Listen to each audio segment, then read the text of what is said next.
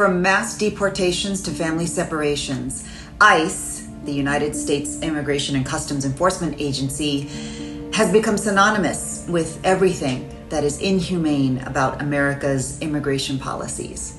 For someone who's spoken out against these very policies and the hateful rhetoric that fuels them, Immigration Nation is a sobering, enraging story. This six part documentary offers a rare look into the inner workings of a complex government agency.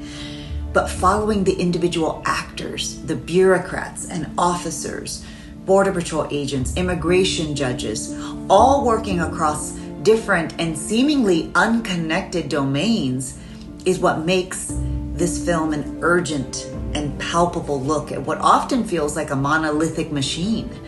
With their on the ground approach and rare access to detention facilities, the filmmakers reveal how individual and collective justifications rationalize a punishing system. For capturing the cruel way policies become unquestioned orders to be followed and quotas to be filled, no matter the human cost, it is my honor to announce that Immigration Nation is the winner of a Peabody Award.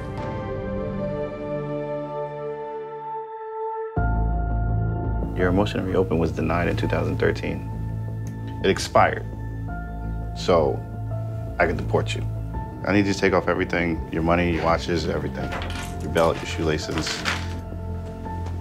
You said you have a child, right? Sure. All right. Anybody picking up the child today? My wife. Is there a way that he, we can buy a ticket, he can go, and we can, I can get prepared for this? I need to see him. Well, you can't see him. I mean, you had two years. This is not on ice. Estuve 40 días solo encerrado, sin hacer nada, a la detención de, de ICE. Que lo único que yo quería era estar con mi hijo. Y ahora mismo estoy aquí con mi hijo en un lugar. Mi esposa logró pasar también.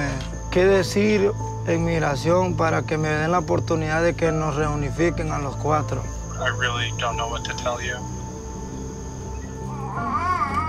Una vez que se los pongamos, no se lo pueden quitar hasta que se reporten a su cita con inmigración. Entonces, en cualquier momento, escuche el mensaje y haga lo que dice. ¡Vámonos! Pásale, amigo. Agarra sus hijos. We were removing a ton of people under the Obama administration. This administration, probably double. If you think they present a threat to the United States, you can arrest anybody you basically want to. When we were granted the rare access to document the US immigration system from inside ICE, we knew we had something unique that hadn't been seen before. We filmed at a time where deterrence was a policy, and we had a front row seat to both those enforcing the policies and the immigrants living in the shadows of them. Historically, we have always been a nation of immigrants. That's our strength. That's what makes us who we are. Think about your personal story. Unless you're a Native American, someone, somewhere in your past, showed up from somewhere else, and they did not always have papers. But what they commonly had was a simple dream that everyone, regardless of your skin color, what God you believe in, your sexual orientation, we all deserve a fair shake. We all deserve an opportunity. When people refer to immigrants as them, it's time we understand that they are not talking about them. They are simply talking about us, who we are, and who we inspire to be. This is the story of us, not the story of them.